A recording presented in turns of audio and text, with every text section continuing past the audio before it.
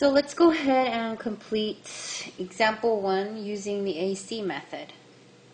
Okay, so we have 6x squared plus 23x plus 20. In the AC method, the first thing we have to do is factor out the largest common factor. When we look at the variables, nope, no common factor. 6, 23, and 20 do not have a common factor. So what am I going to do? What I'm going to do is I'm going to create my table. So I have the factor of AC. What is A? 6. And what's C? 20. So that equals 120. So I need to find the factor of 120. Okay? They need to equal plus 23, or B. So let's go ahead and name out all of the factors of 120. 1 and 120. When you add them, you get 121. Keep on going. 2 and 60. So when you add them, you get 62. And then 3 and 40. When you add them, you get 43. Uh, let's see, we have 4 and 30. When you add them together, you get 34. Um, 5 and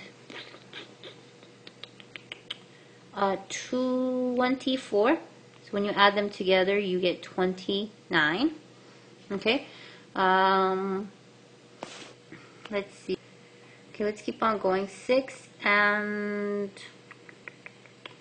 20. Okay, that's 26. Um, 7 doesn't work. How about 8? 8 goes in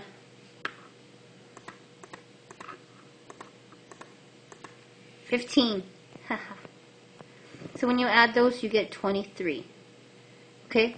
So we have 8 and 15. Okay. So what do I do? How do I um, set that up? Uh, because my next instruction is split the middle term with the correct factors. The factor is 8 and 15. So I'm going to change that into 8x plus 15x. What does that equal when you add them? You get positive 23x. That resembles that middle term. So we have 6x squared plus 8x plus 15x plus 20 equals 0. Okay, now let's group them. 2. Now let's look at that first group. What's the common factor? We have an x, and we also have a 2. When we pull that common factor out, uh, we have 6x squared plus 8x. I'm going to divide everything by 2x. So I end up with 3x plus 4. Right here, 3x plus 4. And the way we could check it is we can distribute this, and we should get the same thing up here. Yep, we do. I know it without doing it. Okay? Now, let's look at 15x and 20. Mm, what's a common factor? 5. So when we do 15x plus 20, and we're going to divide everything by 5. So we have 3x plus 4 equals 0. If you do not see this, you did something wrong. Okay? So now I'm going to factor out a 3x plus 4. Okay, when I do that, I get 2x plus 5 with multiplication right there. And then now I can separate this out and I get 3x plus 4 equals 0. And then 2x plus 5 equals 0.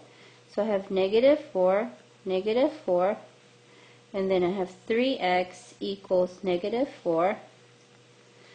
So I'm running out of room. Okay, so when you have 3x, we're going to divide both sides by 3. So I have x, whoops, I have x equals negative 4 divided by thirds. That's one of my answers. Let's bring this over here.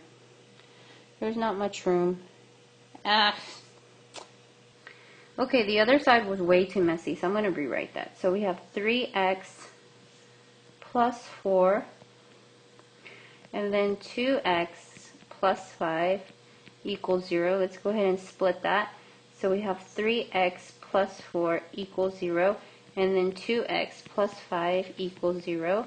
Subtract both sides by negative, I mean, uh, by 4, and then we have 3x equals negative 4. Let's go ahead and divide both sides by 3.